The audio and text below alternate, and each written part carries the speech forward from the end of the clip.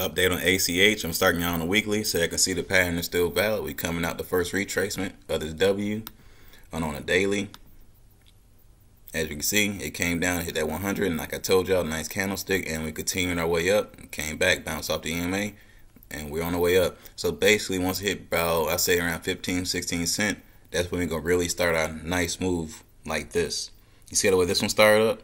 This is, is doing the exact same thing. It's going up slowly and then boom, we get a nice candlestick, bounce off the EMAs, and then boom, the super move we've been waiting for. I know y'all seen other coins hitting up 100, 150, 200% in a day type thing. That's what's going to happen with this. As soon as it hit the 15, 16 cent mark, it's going to make a, a real good move. But right now, we're just slowly gaining momentum to make that move.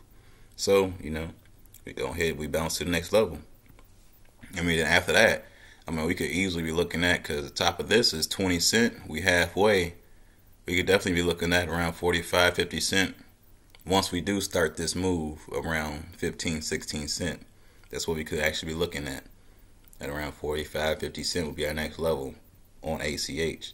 So let's look on this daily. I mean, not the daily, but the four hour. Excuse me. As we can see, came down, hit the 200, boom. Came down, bounced off to 50, the boom. Now it bounced off to 20. So we are on our way up non-stop to that point I just mentioned. But yeah, I gave y'all the general gist of what's happening with ACH. And anything I just said is not financial advice at all. Y'all grown. Y'all make your own decisions. But like, comment, and subscribe. Peace.